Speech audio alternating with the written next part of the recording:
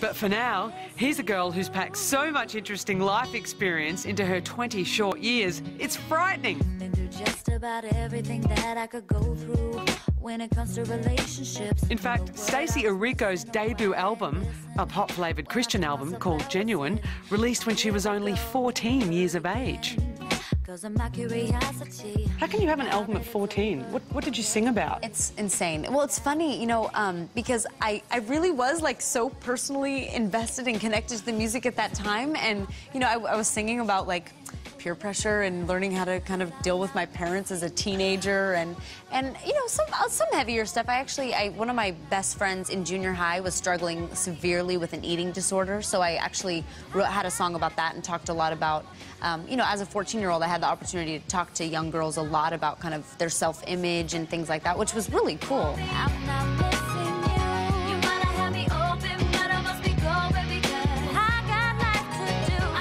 first got this record deal and you, you released that first album, how were you feeling? How, were your parents a bit concerned? I mean, any like normal, protective, loving parent is going to be freaked out at the thought of their 12-year-old being placed in the hands of a bunch of other people to tell them what to do and where to go and speaking into your life and, and all of that. And so, yeah, I think they totally entered with fear and trembling, no doubt.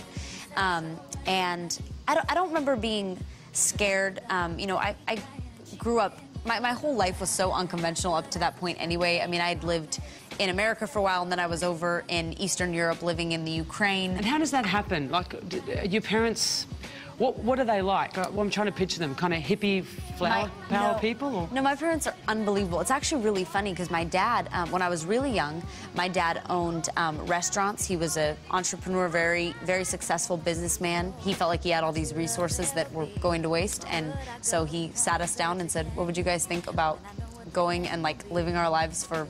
You know, a, a purpose beyond what we've ever experienced and getting out of our comfort zone for a couple years. And we all were like, okay, Dad. You know, so we literally um, sold our house, packed up everything, moved to the Ukraine, and we're working in tuberculosis hospitals.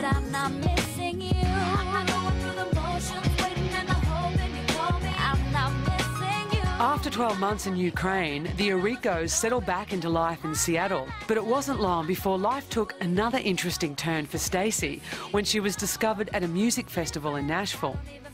By 16, she'd already released a successful Christian album and was ready to target the far more mainstream pop market. I can't get out of bed today or get you off my mind.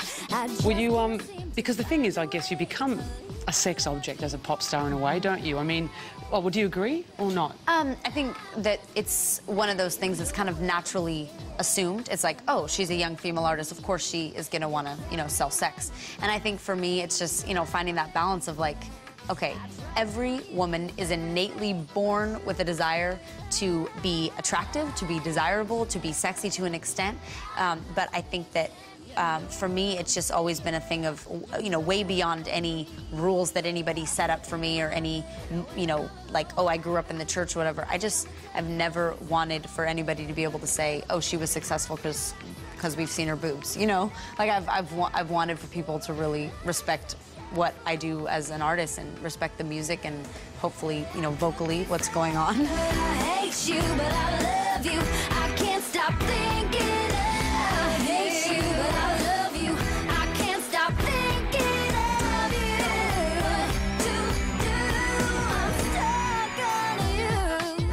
Stacie Orrico's hit single Stuck went top five in over 10 countries around the world and helped establish her as an international success. Um, now, after the success of, um, of your second album, Yeah. you kind of went on a bit of a hiatus, didn't you? Uh, It all got a bit too much, Yeah. would you say? It's kind of just like everything came crashing down at once. First of all, I had had no normal life since I was 12 years old, and physically I was just exhausted naturally from from all the travel.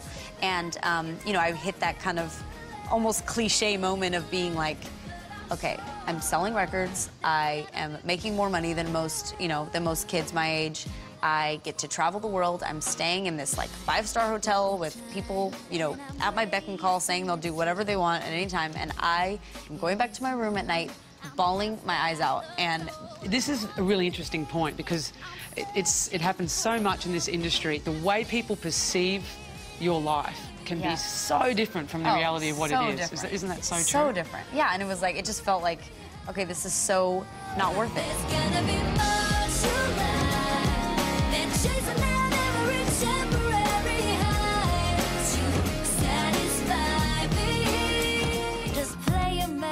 So, would you say that this album is far more personal to you than anything you've done previously? Oh, far more. Yeah. I mean, this.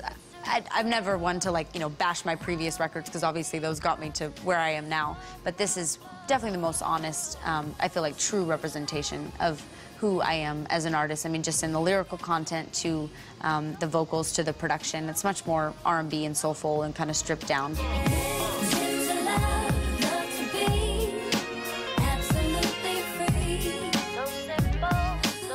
So just it's a whole new day. Yes. Yeah. It is. It's a.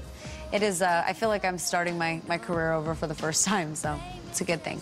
inspiration, I suppose. That's a wrap, fellas. Can I just honestly say that was the best, most interesting interview that I've had? And please don't don't label me as the butt kisser. I really, truly, you no, you you really did ask like the most interesting conversations we've had this far.